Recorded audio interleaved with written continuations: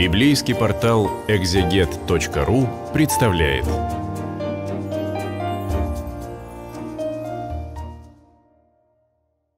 Библейский портал экзегет.ру представляет цикл бесед о послании святого апостола Павла к филиппийцам. Сегодня мы с вами говорим о второй главе.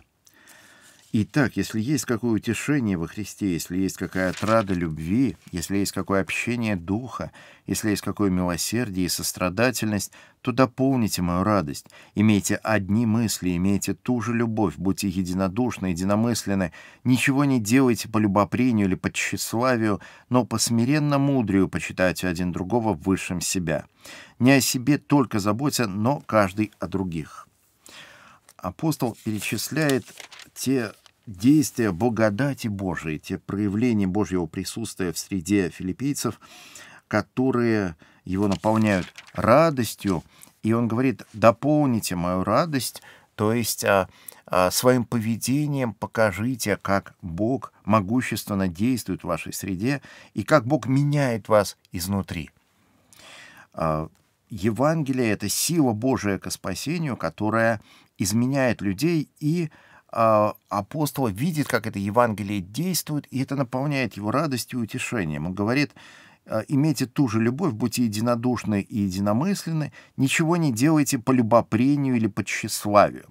Любопрение — это страсть к спорам.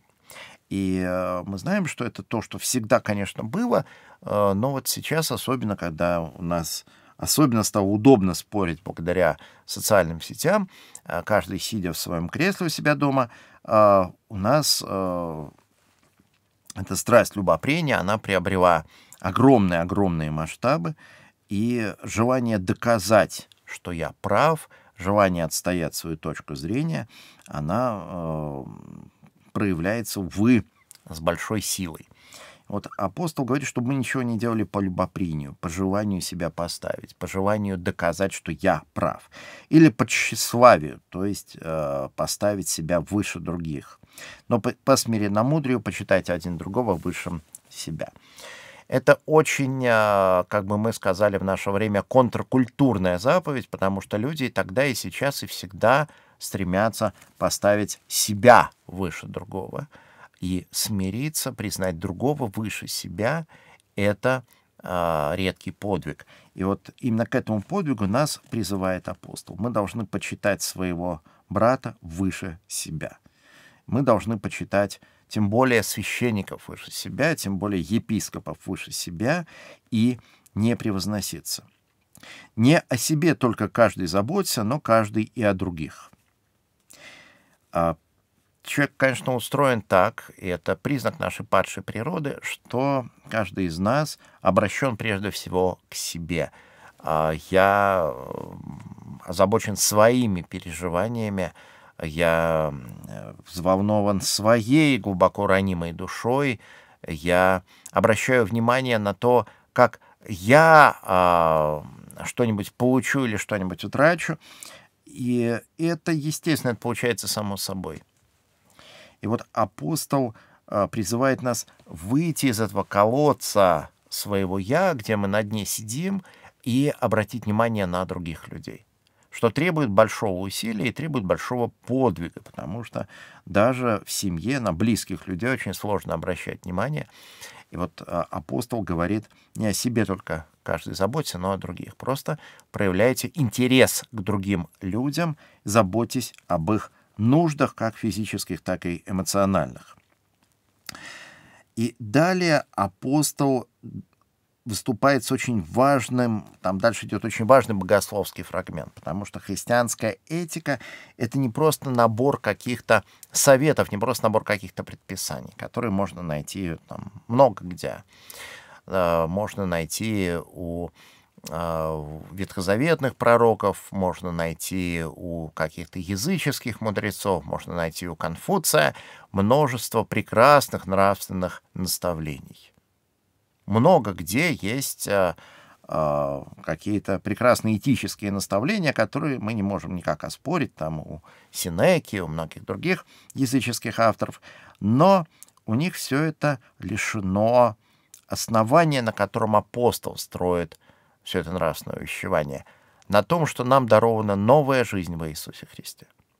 Человек без Христа может понимать, э, что хорошо и что плохо, даже должен понимать, Бог в сердце каждого человека вложил сознание нравственного закона, но он не в состоянии это исполнить, не в состоянии за этим последовать, потому что у него нет новой жизни во Иисусе Христе. У христианина есть, и апостол э, рассказывает о том, как мы эту жизнь обретаем. Вот что он пишет. «Ибо в вас должны быть те же чувствования, какие и во Христе Иисусе. Он, будучи образом Божиим, не почитал хищением быть равным Богу, но уничижил себя самого, приняв образ раба, сделавшись подобным человеком и по виду став как человек смирил себя, быв послушным даже до смерти и смерти крестной. Посему и Бог превознес его и дал ему имя выше всякого имени, дабы пред именем Иисуса преклонялось всякое колено небесных, земных и преисподних, и всякий язык исповедовал, что Господь Иисус Христос в славу Бога Отца. А, он, будучи образом Божиим, не почитал хищением быть равным Богу. Может быть, фраза, которая нам непонятна, потому что ее трудно очень переводить. А, в а, греческом тексте слово «образ», «морфе» греческое слово, оно может быть только отчасти передано нашим словом «образ», потому что для нас образ — это отпечаток, это а, вот мы знаем, что все люди созданы по образу Божию, там, что на монете изображен образ государя, там, на иконе изображен образ святого.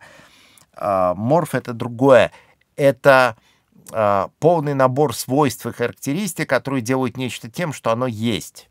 То есть в некоторых переводах и передают «он по природе Бог». И это правильный перевод, потому что речь идет о божественной природе Иисуса Христа. То есть в греческом тексте, если мы посмотрим, там речь идет о божественной природе Иисуса Христа. Он, будучи образом Божьим, будучи по природе Богом. Не так, как каждый человек есть образ Божий, а именно э, уникальным образом. Иисус Христос был по природе Бог, не почитал хищение быть равным Богу, э, то есть не вцеплялся э, в это равенство Богу, не, э, уди, не стремился удержать за собой этот статус. Ну или, можно сказать, не держался за это равенство с Богом. Но уничижил себя самого – то есть Христос, а, будучи а, наивысшее, занимая наивысшее положение вообще в мироздании, и даже за пределами мироздания, Иисус Христос, Бог, уничижил себя самого, приняв образ раба, сделавшись подобным человеком по виду став как человек. Апостол говорит о тайне Бога воплощения, как во многих местах говорит Библия, это тайна Бога воплощения, как Бог стал человеком в Иисусе Христе. И он уничижил себя самого, сделал себя ничем, опустошил. Это то, что называется э, в богословии греческим словом «кенозис». Он принял образ раба, сделавшись подобным человеком и по виду став как человек. То есть Бог в Иисусе Христе уничижил себя самого и стал человеком. Смирил себя, быв послушным даже до смерти и смерти крестной. И вот став человеком, Иисус уничижил себя. Он смирился до смерти смерти крестной. Иисус не преследовал своих интересов. Он не хотел ничего себе. Единственное, что его интересовало, это исполнить волю Божию, и он исполнял ее, быв послушным даже до смерти, и не просто смерти, а смерти на кресте. Мы видим это поразительное нисхождение Бога не просто в статус человека, но в статус человека, умершего и распятого. Бог, когда он становится человеком, он не становится римским императором. Есть самый могущественный человек тогдашнего мира, это римский император, конечно. Но Бог не имеет никакого отношения к римскому императору.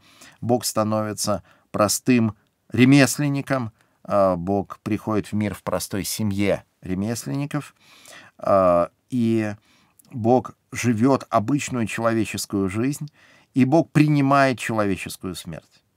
Так Бог уничижает себя, будучи послушным до смерти крестной.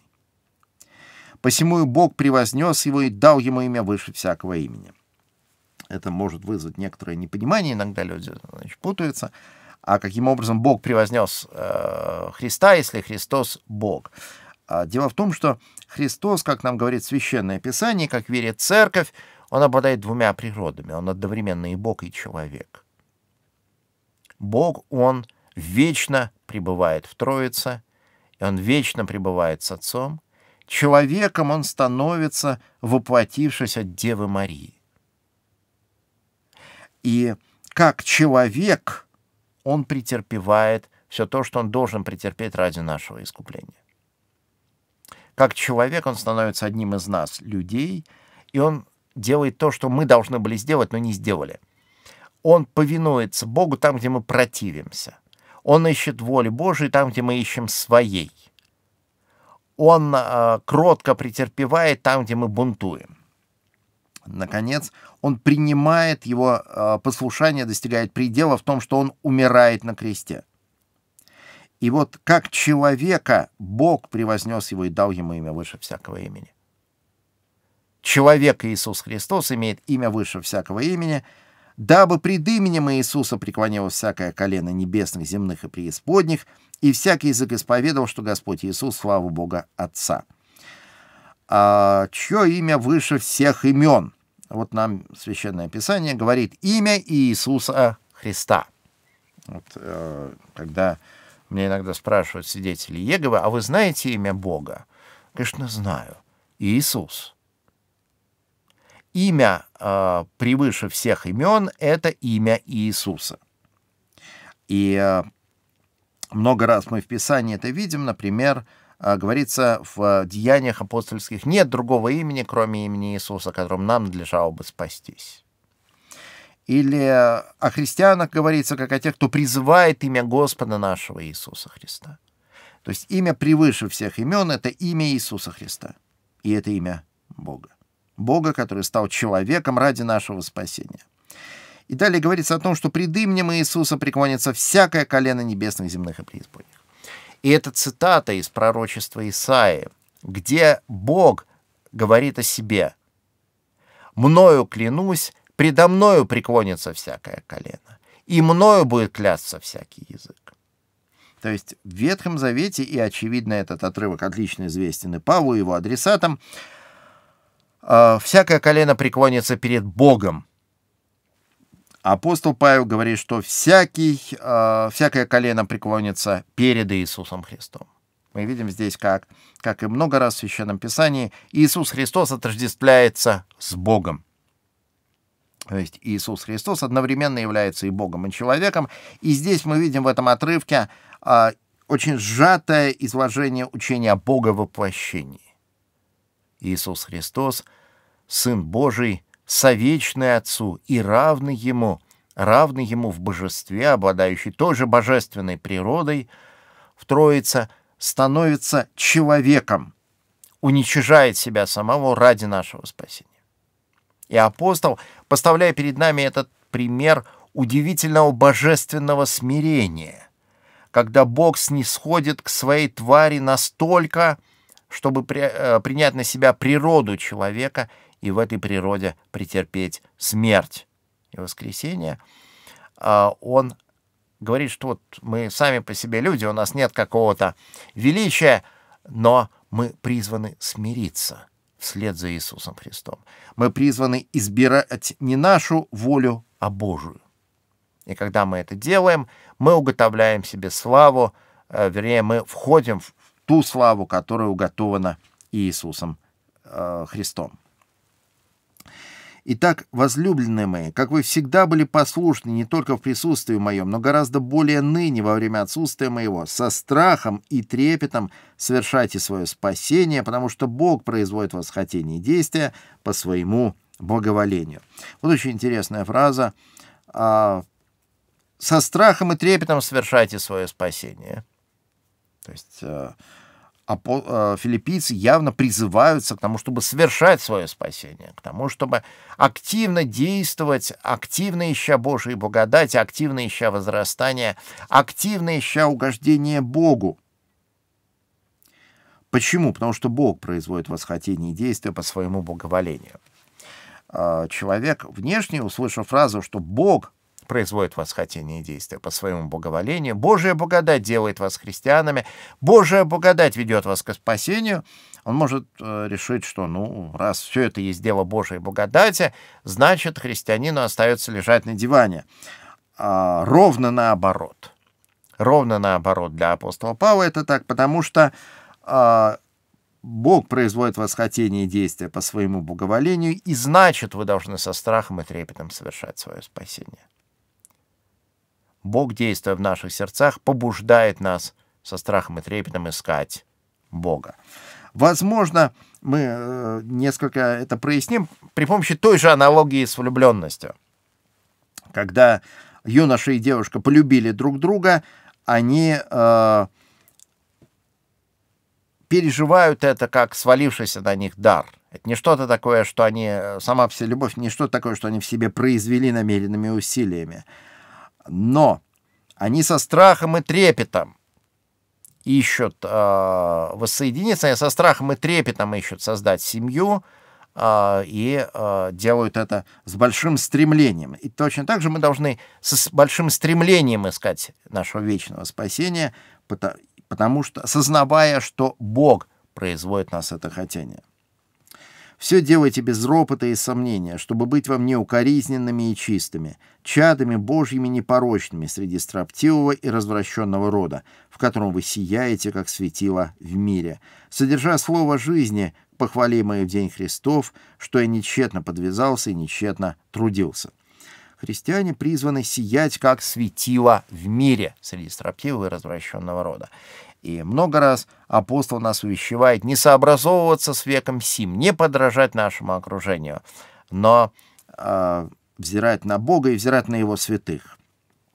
Но если я и соделаю жертву за жертву и служение веры вашей, то радуюсь и сорадуюсь всем вам, о сем самом, и вы радуйтесь и сорадуйтесь мне. Апостол э, упоминает свои личные перспективы, его личные перспективы соделаться жертвой находятся под стражей, и вполне вероятно, он имеет основание это предполагать, ему предстоит смерть. И он действительно воспримет мученический венец. В итоге мы это уже знаем. А, он об этом а, весьма определенно догадывается, а, но он говорит, я соделаю жертвой, но я радуюсь и сорадуюсь всем вам. Мне предстоит умереть, но я радуюсь и сорадуюсь. Чему? Тем, что у нас есть в Иисусе Христе дар вечной жизни, он есть у Павла и он есть у филиппийцев. Надеюсь же в Господе Иисусе вскоре послать к вам Тимофея, дабы и я, узнав о ваших обстоятельствах, утешился духом. Ибо я не имею никого равноусердного, кто бы столь искренне заботился о вас, потому что все ищут своего, а не того, что угодно Иисусу Христу. А его верность вам известна, потому что он, как сын отцу, служил мне в богоствовании. Итак, я надеюсь послать его тотчас, как скоро узнаю, что будет со мною. Я уверен в Господе, что и сам скоро приду к вам. Апостол хвалит Тимофея и противопоставляет его неким людям, которые ищут своего, а не того, что угодно Иисусу Христу. И э, парадокс ситуации в том, что люди, которые ищут своего, они ничего в итоге не находят. Их жизнь оказывается унылой, разбитой, пустой, бессмысленный. А, человек, который посвящает себя Иисусу Христу, его жизнь полна и даже счастлива. Апостол Павел а, лишен, конечно, всего того, что принято связывать а, с счастливой жизнью. У него нет дома, нет семьи, нет достатка, нет безопасности.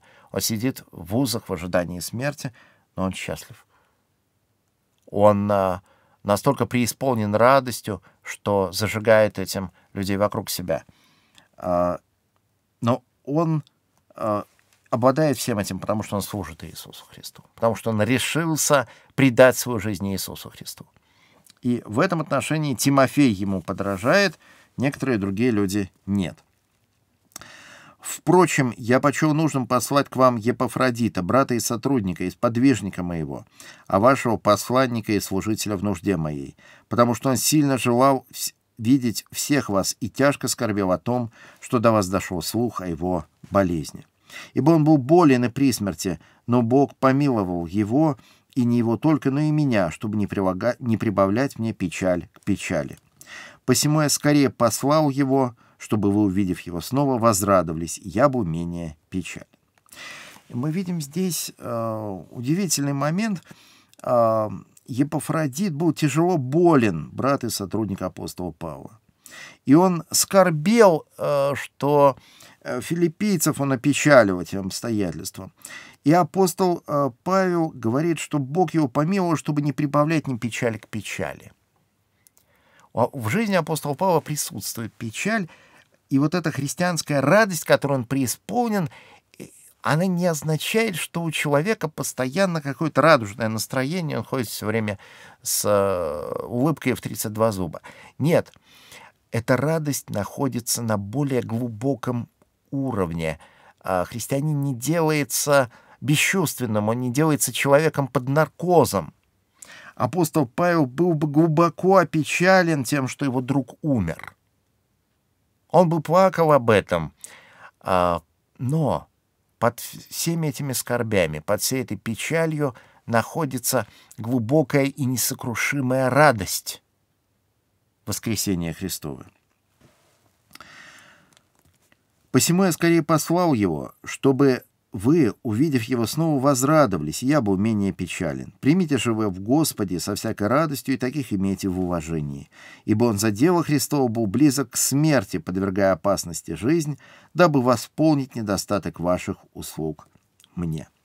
Он был близок к смерти за дело Христова. Быть христианином в то время было крайне опасно, как-то бывало опасно и в другие времена, и мы видим, что а, Епафродит подвергается опасности не потому, что он э, творит какое-то насилие, не потому, что он бомбы подкладывает, не потому, что он э, ведет партизанскую войну, но потому, что он проповедует Христа, потому что он служит апостолу. И в этом состоит христианский подвиг. Люди часто мечтают о подвиге, но вот тут подвиг э, людей, которые не несут кому-то смерть, подвиг людей, которые несут жизнь и делают это, в том числе подвергая себя опасности. Мы с вами читали вторую главу послания святого апостола Павла к филиппийцам. Мы делаем это в рамках библейского портала «Экзегет.ру».